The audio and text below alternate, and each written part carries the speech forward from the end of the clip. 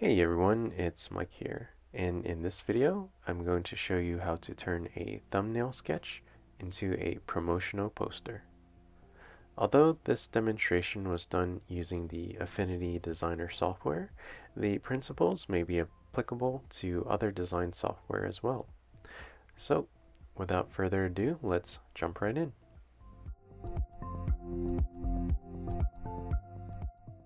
We'll start off by creating a new document by going over to File, New, and then select the Print tab. Then let's choose the one sheet poster template. Then we'll head over to the layout options and check the create artboard box. After that, click create. Now let's zoom out and duplicate the artboard by holding down the option, left click and drag or if you're on a PC, it's Alt left click and drag. Next, let's go ahead and rename the artboards. The first one will be called thumbnails, and the other one will be called design. Alright, now that we have our artboards set up, let's move on and create some thumbnail sketches.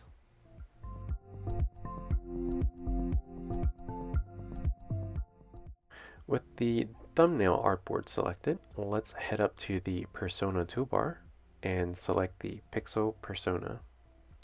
Now we can use our brush tool to sketch out some thumbnails. Thumbnail sketches are useful in the design process because it allows you to experiment with different layout ideas.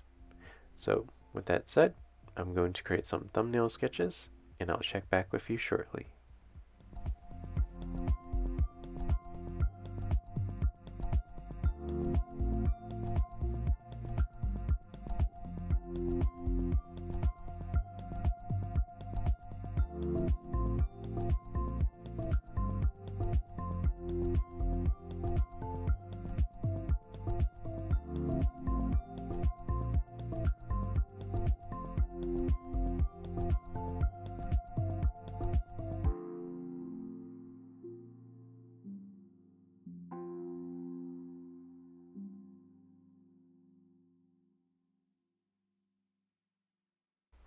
Alright, as you can see, my thumbnail sketches aren't detailed at all.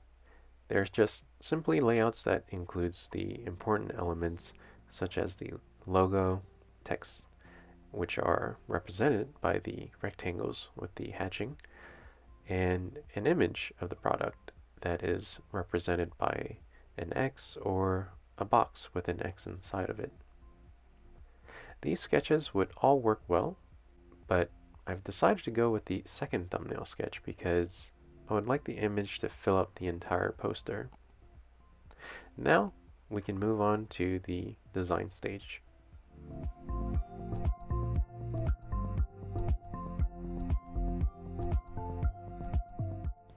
With the design artboard selected, let's head back up to the persona toolbar and select the designer persona.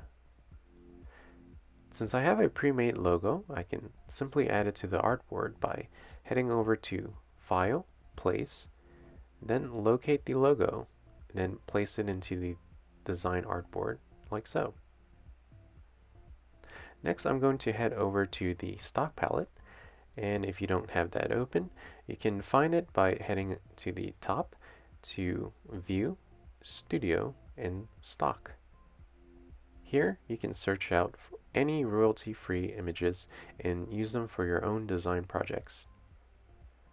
I'm going to search for burrito because I want this poster to have a buy one get one free burrito promotion. Okay, this photo looks good because there's more than one burrito in it and I like how the negative space can be used as a focal point. So credit to Ryan Concepcion for sharing this awesome image.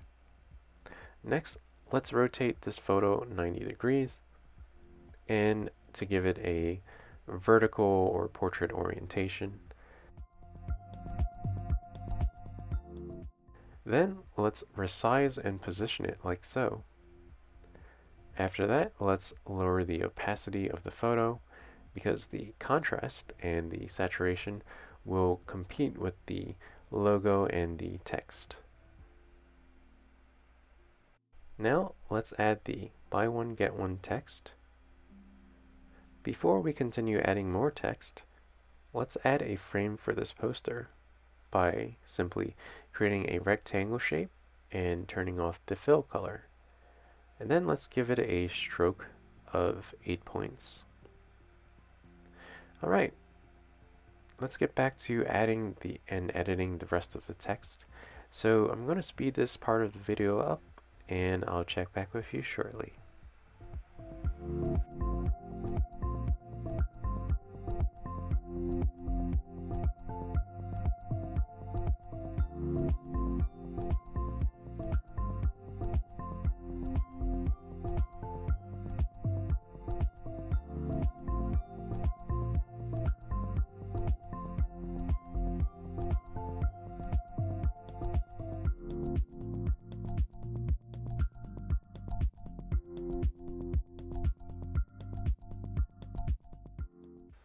Okay, now let's add some filler text at the bottom to represent the uh, disclaimer or terms and conditions.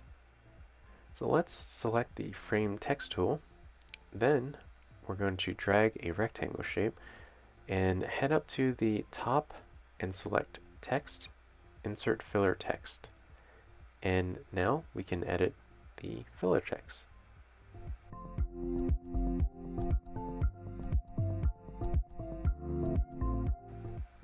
Alright, last but not least, let's add some outer shadow to the logo and um, buy one get one free burrito text.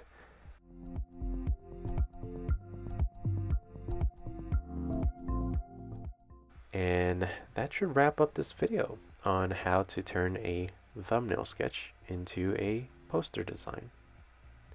I hope you enjoyed this video. Hopefully you learned something from it. If you did, let me know in the comments section below. And if you haven't yet, please consider subscribing for more creative content and design tutorials in the near future. On that note, I'll see you next time.